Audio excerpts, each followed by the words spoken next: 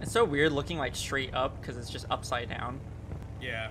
Dude, the, the tornado looks pretty cool. Whoa! What was that? We just got struck by lightning.